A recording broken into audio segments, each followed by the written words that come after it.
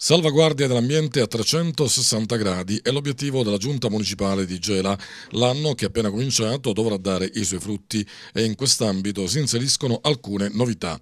Lo dice l'assessore comunale Simone Siciliano. Anno nuovo, regole vecchie per la differenziata. Continuare diciamo, a, a, differenziare i rifiuti eh, con eh, maggiori incentivi per i cittadini. Eh, nei prossimi giorni verrà avviata presso il centro comunale di raccolta la pesatrice dei rifiuti eh, che permetterà ai cittadini di ottenere dei bonus eh, tanto più alti quanto più è la capacità di differenziare i rifiuti e di portarli presso il centro comunale di raccolta. L'assessore siciliano entra nel merito di come funzionerà il servizio. Fondamentalmente verranno pesati le frazioni differenziate, quindi plastica e metalli, eh, vetro, eh, carta e cartone e per il peso verranno associati dei punteggi che poi permetteranno di eh, ottenere dei buoni ehm, spesa eh, da scomputare in un certo senso relativamente alla quota alla Tari che viene, che viene pagata. Un servizio rivolto ai privati che guarda alle attività commerciali.